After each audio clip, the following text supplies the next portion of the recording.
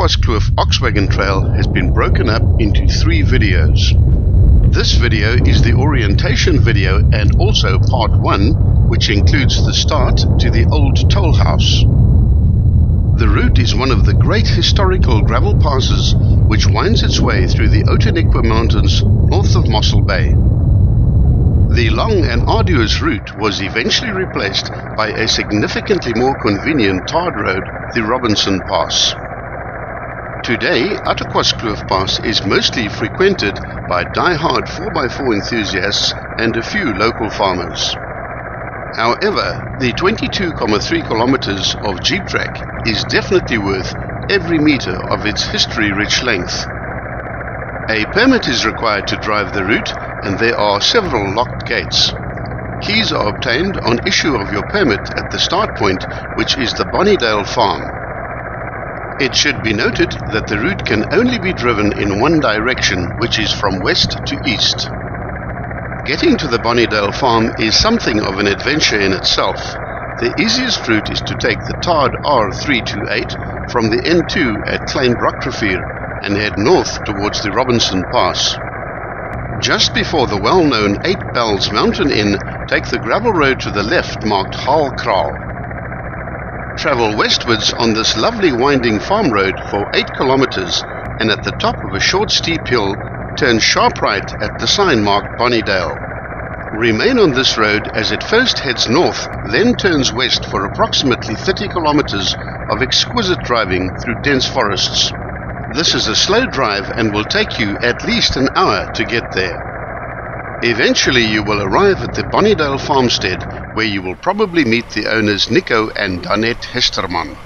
The farm is a much loved venue for nature lovers and offers camping, hiking, rock pools, horse trails and 4x4 routes. They also offer some self-catering options and a tented camp. Once you've sorted out your payment, permits, keys and map, you are on your way to your first obstacle which is the crossing of the river you should immediately select low range and carefully negotiate the rocky approaches to and through this small river. This short river section is approximately 50 meters long, whereafter the track heads up to the left. The first two kilometers are without question the most difficult of the entire route. Once you've reached the top of the first hill, you've got the worst behind you. The route is graded level 2 to 3. Within minutes, you will arrive at the worst obstacle of the route, where there is a humorous notice board about bras and dentures. Here it is best to get out and inspect the line you intend to drive. This obstacle is best handled in first or second gear low range. In wet weather, things will be a lot more difficult. Centuries ago, the local Khoi tribes herded their cattle and sheep across a path in the Outeniqua Mountains which later became something of a road for all travellers between Mossel Bay and Oudtshoorn.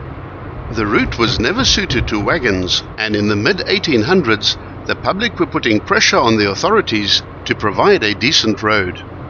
South Africa's master pass builder Thomas Bain was called in, who surveyed the area, and a number of options were suggested, which included an existing road at the Reutersbosch village this then became a long and arduous route through the Outeniquas to the Karoo, but it was not popular. Ultimately, a new road was surveyed which tracked through a neck further to the east. This was to become the well-known modern Robinson Pass. Over time, the old Attakwaskloof route fell into disuse with virtually no traffic on it, and the road was closed to the general public.